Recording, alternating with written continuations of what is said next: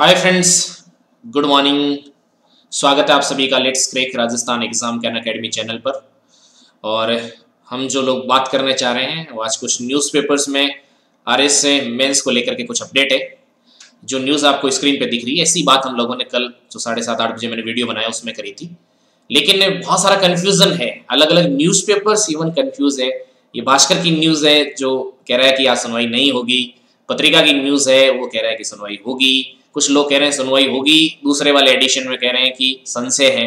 तो इस तरह की चीज़ें बहुत सारा है और बहुत सारा रायता फैल गया है। ये समझ लो आप। तो देखो इसमें, ये भास्कर की न्यूज़ इसमें क्या कह रहा है? आर एस दो आयोग ने नहीं किया आवेदन, सुनवाई की तारीख बढ़ेगी। आर मुख्य परीक्षा 2008 के लिए हाईकोर्ट में अर्जेंट सुनवाई के आवेदन नहीं करने में। बुधवार को, देखो, कहाँ पर पढ़ रहा हूँ बता देता हूँ। आरएस मुख्य परीक्षा 2018 के लिए हाईकोर्ट में अर्जेंट सुनवाई को आवेदन नहीं करने से बुधवार को इस पर सुनवाई नहीं होगी। हाईकोर्ट द्वारा केवल ज़रूरी मामलों में सुनवाई हो रही है। यह सुनवाई बुधवार को प्रस्तावित थी। राज्य से अठारह हज़ार से अधिक अभ्यर्थी का परिणाम इंतज़ार कर रहे हैं। ये सारी कहानी कुछ मतलब नहीं। हाईकोर्ट ने इकतीस मार्च तक केवल अर्जेंट केसेस की सुनवाई के लिए कहा है। कोर्ट ने अर्जेंट सुनवाई के लिए एक दिन पूर्व सूचना देने के निर्देश दिए हैं। आयोग सूत्रों के मुताबिक आरएस मुख्य परीक्षा 2018 के मामले मंगलवार को आयोग ने अर्जेंट सुनवाई के लिए आयोग सूत्रों के मुताबिक आयोग सूत्र कौन है? क्या है? ये आप समझ लो। लेकिन कोई आवेदन नहीं किया है। ऐसे में बुधवार को इस मामले में सुनवाई होने की कोई उम्मीद नहीं है।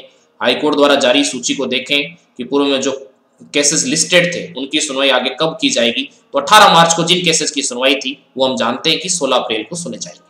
19 मार्च को होने वाली ये इससे कोई लेना देना पड़ा है नहीं। अगेन देखो यहाँ पर, ये जयपुर का आप इलेवन नंबर पेज देख लीजिएगा, पत्रिका का उसमें दिया है। ये पत्रिका की न्यूज़ है। आरएस मेन के परिणाम को लेकर हाईकोर्ट में आज होगी सुनवाई। आरएस मुख्य परीक्षा 2018 के परिणाम को लेकर बुधवार को हाईकोर्ट में सुनवाई होगी। इसमें राजस्थान लोक सेवा आयोग जवाब पेश करेगा। वहीं हाईकोर्ट के आदेश के बाद ही आयोग परिणाम जारी करने का फैसला करेगा। ये तो जानते ही है दरअसल हाईकोर्ट की सिंगल बेस ने बीते अप्रैल ये सब कोई मतलब है नहीं। तो ये न्यूज़ पत्रिका की है। तो अलग अलग न्यूज़ है पत्रिका भाषकर की। अब देखो सिस्टम है, इसमें क्या करें मतलब और आवश्यक मामलों की सुनवाई। राजस्थान उच्च न्यायालय, जयपुर। देखो, ये सारी न्यूज़ आप देख लो, एक बार आपको हो जाएगा कि क्या लिखा है, क्या नहीं है। फिर आप कंक्लूजन निकालिएगा खुद। राजस्थान उच्च न्यायालय, जयपुर बेंच में मुख्य न्यायाधीश की अध्यक्षता में मंगलवार को हाईकोर्ट न्यायाधीश, बार एसोसिएशन महाधिवक्ता, बार काउंसलर एस की बैठक हुई। कोरोना का संक्रमण फैलने से रोकने के लिए प्रदेश की अदालत में इकतीस मार्च तक केवल आवश्यक मामलों की सुनवाई का फैसला किया गया। बैठक में मुख्य पीठ जोधपुर के न्यायाधीश बार एसोसिएशन पदाधिकारी और अन्य लोग वीडियो कॉन्फ्रेंसिंग से शामिल हुए। उच्च न्यायालय में मामलों को सुनवाई के लिए सूचीबद्ध करने का जिम्मा तीन रजिस्ट्रार को सौंपा गया। सूचीबद्ध के लिए अधिवक्ता को दूसरे पक्ष के हस्ताक्षर करवाकर बारह बजे तक स्लिप देनी होगी। कल तक इस तरह की कोई चीज़ मैंने जब तक वीडियो बनाया था, तब आपको जानकारी दी। अब रात को मैंने किसी से अपडेट लिया नहीं है। ना कोई देगा मेरे को। लेकिन साढ़े सात, आठ बजे तक ये था कि ये जो है वो चीज़ लिस्टेड यानी स्पेशल लिस्टिंग की ज़रूरत थी इसमें। कुछ बच्चों ने मेरे पास भेजा कि, सर, ये हाईकोर्ट की जो है उसके साइट के ऊपर ये आ रहा लिस्टेड है ये बहुत पहले लिस्टेड हो गया था। वही चीज़ है। उसमें कुछ भी अपडेट नहीं हुआ है। और ये इतना तो अब इंडिया का सिस्टम तंदुरुस्त मत मानिएगा कि हाथों हाथ सारी चीज़ें अपडेट हो जाती होगी। तो हाईकोर्ट में जो उसकी वेबसाइट पे जो अपडेट है, उससे मत सोचिएगा। इसीलिए स्पेशल नोटिफिकेशन निकाला गया था। जो नोटिफिकेशन आपको पता होगा ये अपन ने नोटिफिकेशन देखा था कर तो ये नोटिफिकेशन किस लिए निकाला गया फिर कि जो सत्रह मार्च को होगी, वो पंद्रह अप्रैल को सुनी जाएगी, जो अठारह मार्च को होगी वो सोलह अप्रैल को।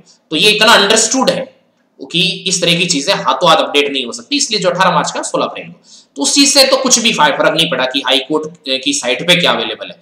लेकिन हाँ स्पेशल परमिशन यदि आरपीएससी लेना चाहती तो ले सकती थी। लेकिन कल तक ऐसा कुछ नहीं हुआ था, कल परमिशन नहीं ली गई थी। आज यदि ले ले, अब के बाद में कुछ कर नहीं सकते हैं। मोस्ट प्रोबेबली इसका मतलब ये हंड्रेड परसेंट मत ही मान के चलिएगा क्योंकि सारे न्यूज़पेपर्स वाले जिनका इतना बड़ा स्रोत होता है सोर्स होता है, वो भी चीज़ कंफर्म करना मुश्किल है उनके लिए। तो मेरे लिए डेफिनेटली है। और कुछ ना कुछ चीज़ें इसमें जो है प्राइवेसी रहती है। लेकिन जितना मेरे को जानकारी है, उस हिसाब से मोस्ट प्रोबेबली ये केस आज नहीं सुनवाई होगी इस केस की मोस्ट प्रोबेबली जितना प्रोबेबल आप कर सकते हैं, उस हिसाब से।